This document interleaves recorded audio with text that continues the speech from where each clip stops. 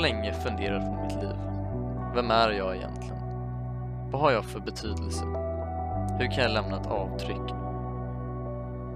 Jag har länge känt mig ensam. Det finns ingen som förstår mig. Ingen att prata med. Jag har inte känt glädje på flera veckor. Jag har ingen gemenskap. Det finns inget hopp för mig. Inget ljus i tunneln. Ingen hjälpande hand när man behöver den.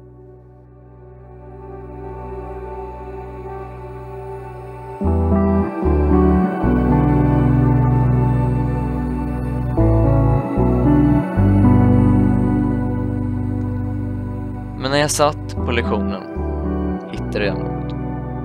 Något som kanske kan förändra allt. En gemenskap. Kärlek och glädje. Mitt enda hopp. Jag måste ge dem en chans. Livets ord. Men tjena Jeppe! Ja, tjena. Vad hade du tänkt göra i helgen? Nej, jag har inga planer för helgen. Vad ska du göra då? Jag hade tänkt dra till Livets Ord. Men Lukas, du får absolut inte gå med i Livets Ord. På internet står det att Livets Ord är Sveriges största sekt och att den är baserad på en am amerikansk framgångsteologi. I Livets Ord tror man på att alla motgångar i livet kommer eh, försvinna om man tror och ber till Jesus. Problemet med den tanken blir då tydligt när man vänder på konceptet. Det blir då inte eget fel om du får motgångar i livet som inte förbättrar sig. Jaha, så du följer inte med på lördag? Nej, jag kommer inte med.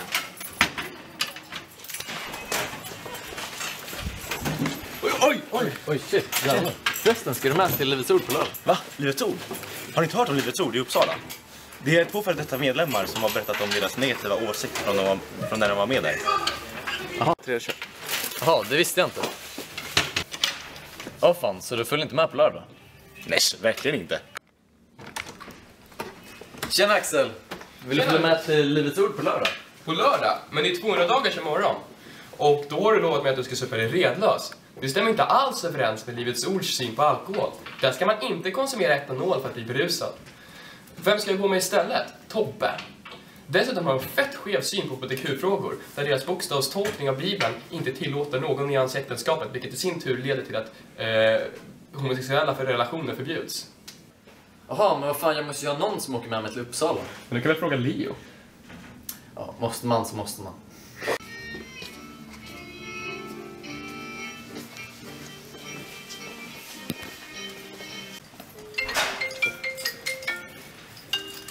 Fan, ringer mig. my best friend, yes! Hallå, Lukas? Ska du till Livets Ord? Är du helt från vettet? Du har, inte, har du inte läst SVTs nyheter från 25 november 2015 om hur Ulf Ekman, grundaren av Livets Ord, tagit hundratusentals kronor i kontanter som istället skulle gått till en liten kyrka i Ukraina? Hänger du med på lördag eller? Eh, jag vill ha just dig. Eh, som kameraman förstås. Du vill ha med bara mig? Eh, yes! Ja, ja, ja, jag är med, jag är med. Vi kör, vi kör, vi kör. Dagen därpå vaknade jag tidigt på morgonen för att hinna med tåget till Uppsala. Men först lite kort fakta om Livets Ord. Livets Ord grundades av Ulf Ekman och hans fru Birgitta Ekman år 1983 då med ett 20-tal medlemmar. Livets Ord har inspirerat flera tusen genom församlingar, bibelskolor, pastors och ledarträningsprogram och behandlingshem för drog och alkoholmissbrukare över hela världen. 1986 började Livets Ord med dess 200 medlemmar bygga sin egen kyrka som var klar året efter. Idag har församlingen i Uppsala cirka 3000 skrivna medlemmar. Något som särskiljer Livets Ord från andra församlingar är att det bedriver skolverksamhet. Livets Ords kristna skola startade år 1985 och Livets Ords kristna gymnasium 1990. Högskolan LO startades 1994 men är idag skild från verksamheten. Trots det har de båda ett starkt samarbete. Livets Ord har dessutom en bibelskola. Det är ett växthus för din relation med Gud och den bästa möjliga förberedelsen för din framtid. Hela 25 000 elever har utexaminerats från Livets Ords bibelskolor och det kommer elever från hela världen. Nu sitter jag här på tåget till Uppsala, på väg till Livets Ord. Jag ska hitta meningen med livet. Ja, klockan är tidigt på morgonen. Vi har ugnat oss så vi är på väg till Uppsala för att hinna ikapp Lukas. Ja. Vi måste rädda honom från den här hemska sekten. Han är alldeles för oskyldig för det här. Han kan inte hamna i klorna på de här eh, hemska människorna. Jag hoppas bara vi hinner i tid. Ja. Nu har precis åkt av tåget här och vi står i Uppsala centrum. Vi ska ta en buss som tar oss ut till ett industriområde där Livets Ord befinner sig. Jajamän, vi ska på den bussen som precis åkte nu, men vi har tid. Eh, ja, det kommer helt enkelt bli en bra, bra och intressant... Vänta! Vad i helvete? Vad i all sin dar gör ni här? Ja, men sorry för att vi dissade dig. Vi vill jättegärna följa med till Livets Ord. Verkligen, vi vill öppna våra sinnen. Alltså, jag är jätteledsen för att jag var så trångsynt innan. Vad fan, alltså... Vad är, varför följde du inte bara med från första början? Nej, ja, fan, vi hade lite fördomar men vi, pålä- vi är lite pålästa nu. Förlåt mannen. Vi vill en kram. med dig. Du får en kram. Hug it out, hug it out. Vi sitter nu här på bussen och är på väg till eh, Livets Ord. Gonna be a blast.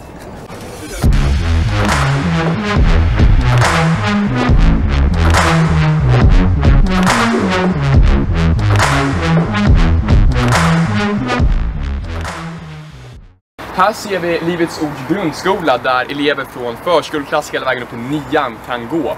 Eh, väldigt intressant, det här är en av de få religiösa kristna friskolorna i Sverige. We're moving. Gary, vad tror du kommer vara den största skillnaden från Livets Ord, det här studiebesöket vi ska göra idag, jämfört med studiebesöket vi gjorde på en synagoga och moské i Stockholm?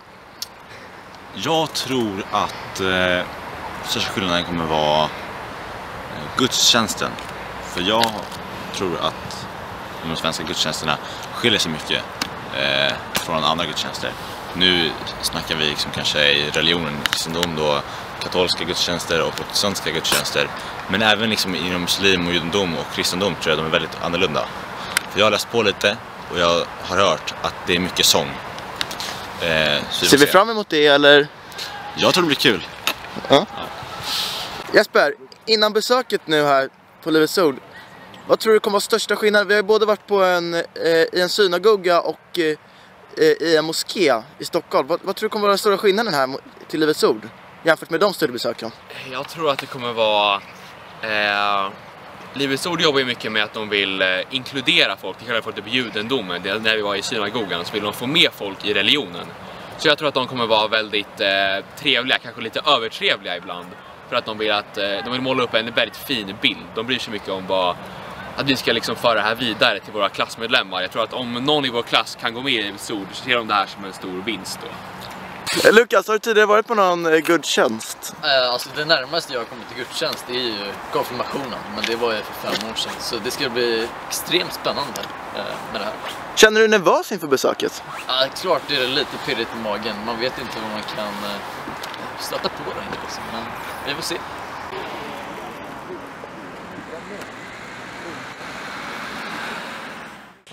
Gudstjänsten börjar med att pastor Rune och ungdomspastorn berättar dagsordningen och dessutom gör en kort predikan. Efter det förvandlas lagerlokalen till en konserthall. Rummet släcks ner och scenen lyser upp av strålkastare. Bandet börjar spela lovsånger och hela församlingen ställer upp och börjar sjunga. Bandet utgjordes av fyra till tre artister, en pianist, en trummis och en gitarrist. Publiken varierar från de som sluter ögonen och lever i stunden och vissa sträcker upp armarna för att ta emot Gud. Medan andra talar i tungor och några står och bara gungar och i knäna liksom. Efter lovsången berättar de två pastorerna om de hemgrupperna som erbjuds, vilket är ett sätt att komma närmare varandra utanför kyrkan. Hemgrupperna är till för att träffa andra medlemmar och prata om kristendomen.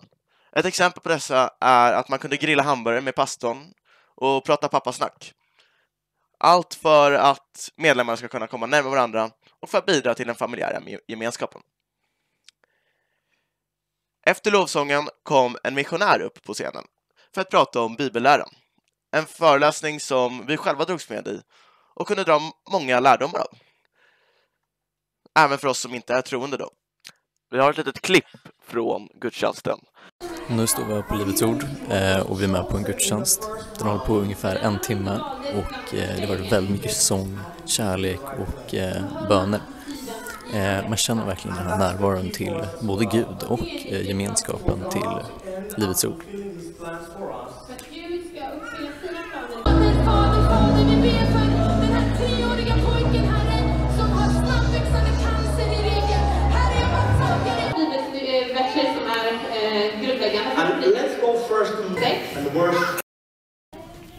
Här har vi då kafeterian i Livets Ord eh, och det är här man umgås och äter mat. Det är även matsalen för gymnasieelever.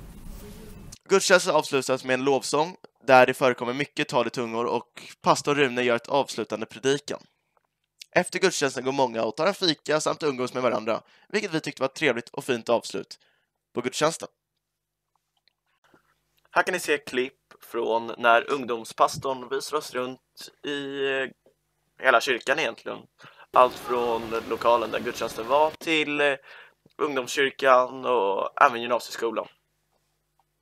Men, nej, det är inte det. Jo, det. Gjorde det? Men. Jo, det.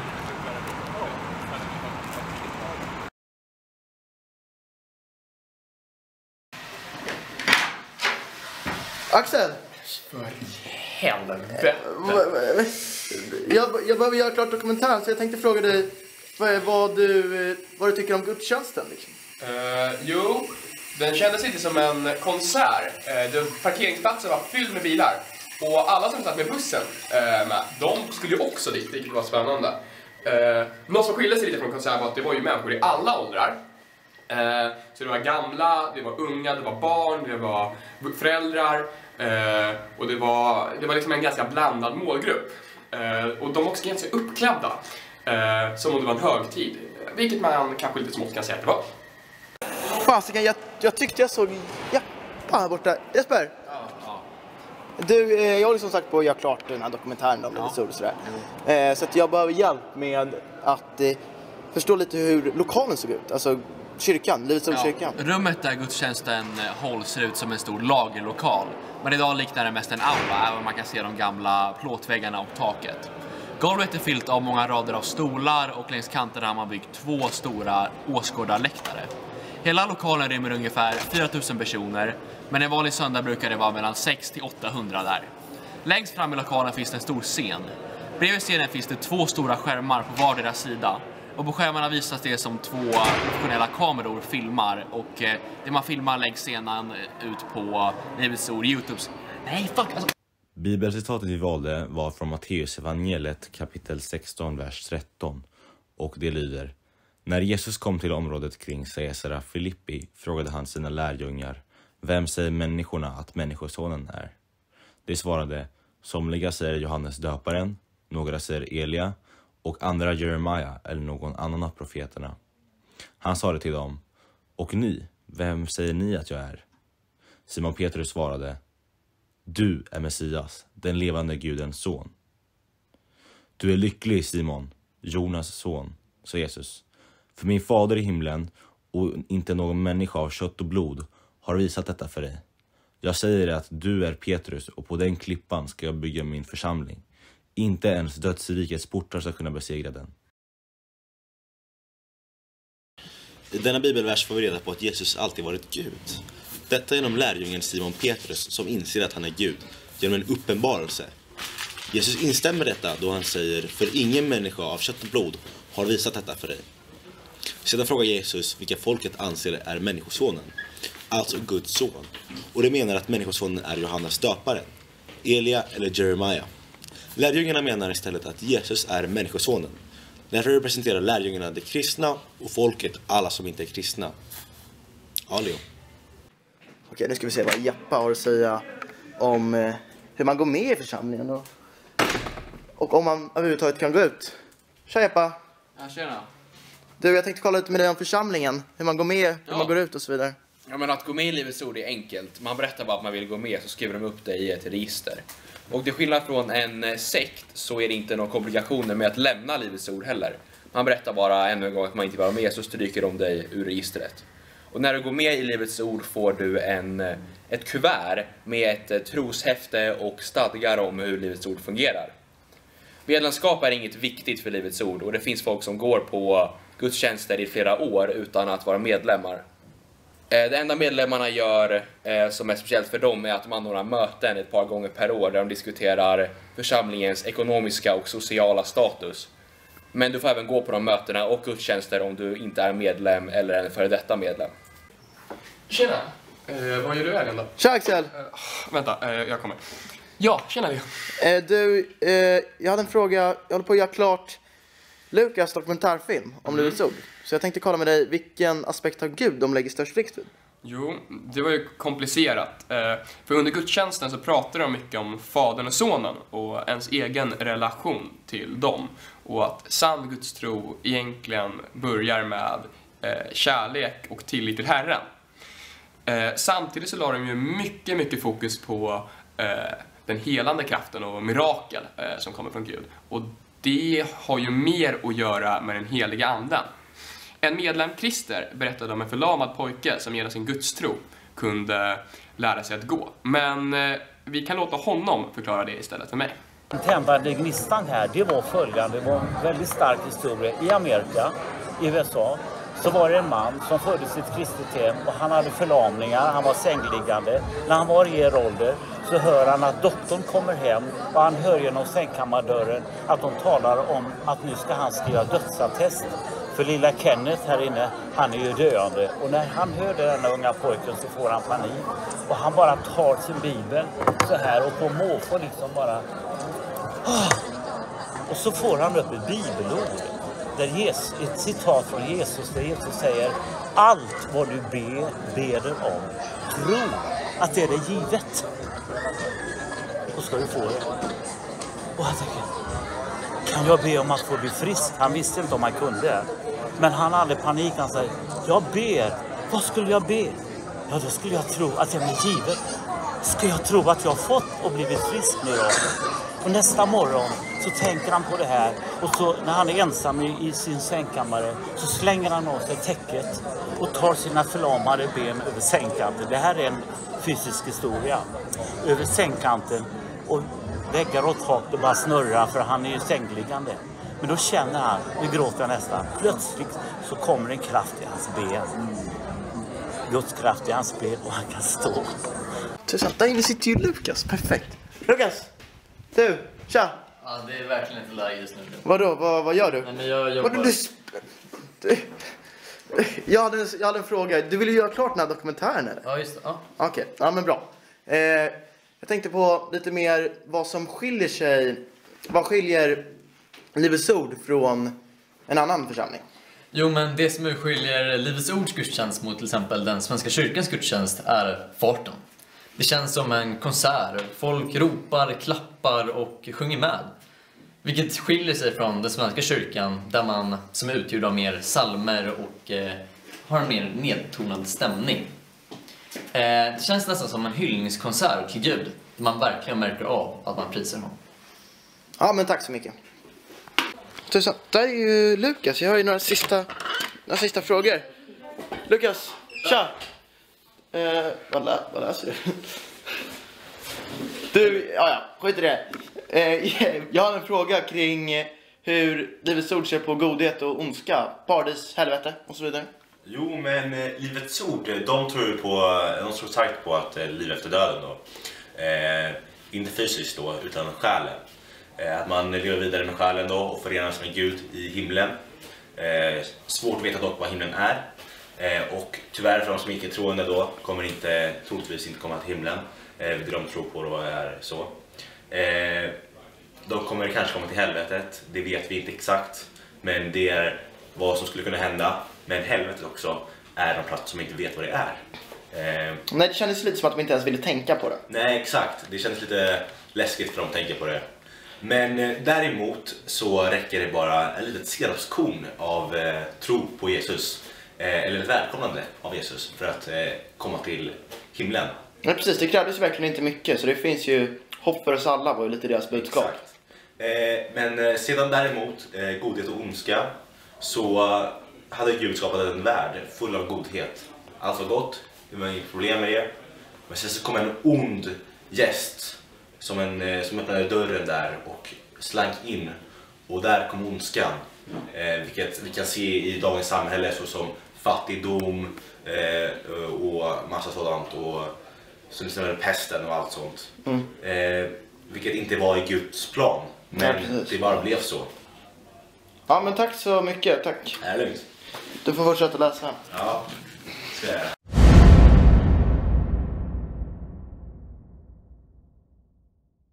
stora familjen, vilket är församlingen. Eh, Det är den stora familjen, så att där finns det... När du är med i den här församlingen, när du kommer till den här församlingen så ska du alltid uppleva och känna att jag är en del av en familj. Det är liksom vår utgångspunkt. Liksom. Och eh, varför vi har den familjen som du är med i. Och Det finns ju allt ifrån liksom, föräldrar, barn, det finns skilda, det finns eh, liksom så.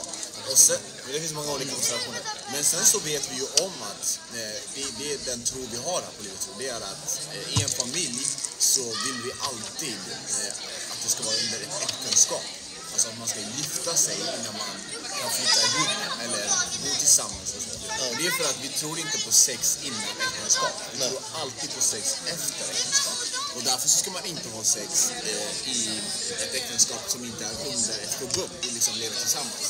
Men den här världen ser ju inte riktigt på sex på samma sätt. Sex ser, ser man ju mer som någonting som du kan njuta av, någonting som du kan ha med vem som helst, någonting som är bara ett tillägg till vardagen, något kul liksom.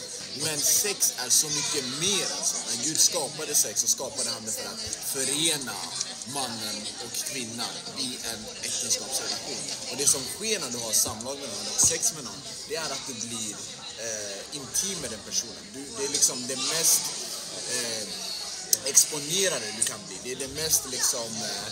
Eh, exakt, man binder sig, man exponerar sig till en annan människa och det, det sker någonting i sex som gör att du är ett med den människan. Eh, och Alltså, homosexuella, hbtq och så vidare. det ramar som Gud vill att vi lever innanför, så som han har tänkt, så som han har planerat. Och tanken med äktenskap, ta- tanken med sex, tanken med äktenskap, det är ju mellan man och kvinna under ett äktenskap där de kan få liksom skapa en familj tillsammans. Därför så är inte en homosexuell relation en relation som är backad från Gud. Så, så han har inte tänkt att två man eller två kvinnor eller två trans eller nu för tiden finns det lite allt möjligt. också. Du kan ju även identifiera dig lite som vad som. Så att, nu har det ju bara blossat liksom på. Men i alla fall, så det är inte tänkt att det ska vara så. Utan det finns en plan, ett syfte med allting som Gud har skapat. Och tanken är då att en man och en kvinna ska gå i äktenskap och det är så det är tänkt. Så därför så står inte vi bakom och vi, vi stödjer inte homosexuell relation och, och, i en familjerelation. Egentligen inte överlag. Utan det enda som är eh, det enda som är tänkt och det enda som är gudsfruktigt är en relation mellan man och kvinna. Är preventivmedel, abort, Mm. eh, Familjeplanering. ja, Eh, den precis. biten. Eh, Nej, precis. Vi är ju emot abort. Eh, och det är vi för att vi vet att varje människa som är till, som är skapad, är inte en slump. Det är inte en slump att en människa blir till, utan Gud har tänkt, Gud har planerat, Gud har... Det är en gåva. Livet är en gåva. Så det är liksom ingenting vi bara tar från människor. Fan, det där är ju Lukas. Jag har en fråga kring kra- sakramenten. Lukas! Lukas! Vänta! Vad fan, varför hittar jag dig här ute och gömmer dig längst bort i skolan? Vad är du här? Ja, men i alla fall. Du, jag har en fråga kring sakramenten och hur Livets Ord ser på det. Eh, det är självklart viktigt, men de lägger inte lika stor vikt som i eh, den katolska kyrkan. Eh, de kallar sig själva för en karismatisk rörelse, vilket innebär att de lägger stor vikt på relationen med Gud. Men genom att bygga upp en relation med Gud så blir det också känsligt att göra någonting som han inte vill. Precis som i en vanlig relation i äktenskap eller med kompisar. Man skriver en lag i hjärtat mellan dig och Gud. Tack så mycket.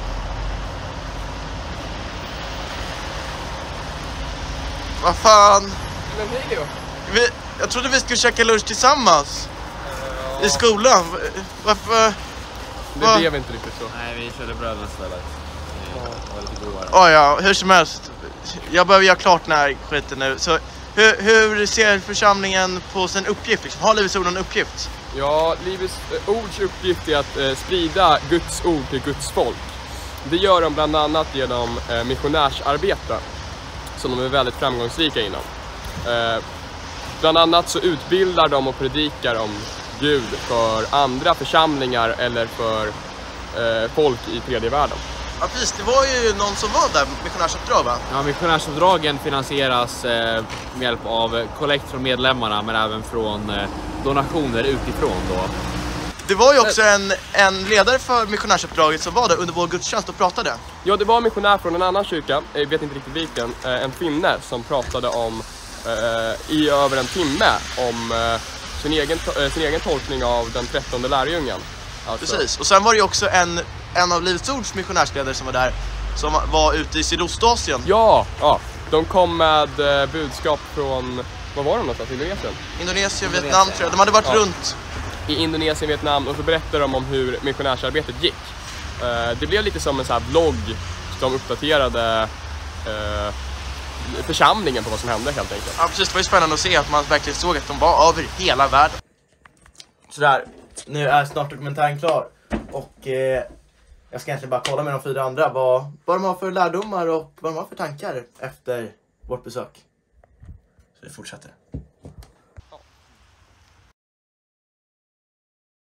Ni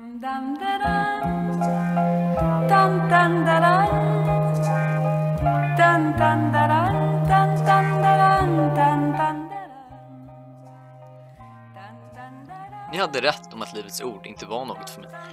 Ja, men det var fortfarande en upplevelse som jag aldrig kommer glömma i alla fall. Det var en fin gemenskap som jag kunnat tänka mig vara en del av om det inte vore på grund av tolkningen av Bibeln som är emot HBTQ-personer. Mm. Och jag har lärt mig mycket om religion på det här äventyret med er grabbar. Jag känner att många av mina fördomar kring religiösa människor har satts på spel. Var precis som du och jag. Inte konstigare än någon annan. Apropå konstiga människor.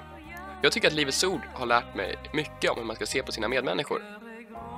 Ja, det är ju- var ju rätt okej ändå. le vent et je suis douce comme suis tendre, tendre, tendre, tendre. Pour mes amants je suis la fleur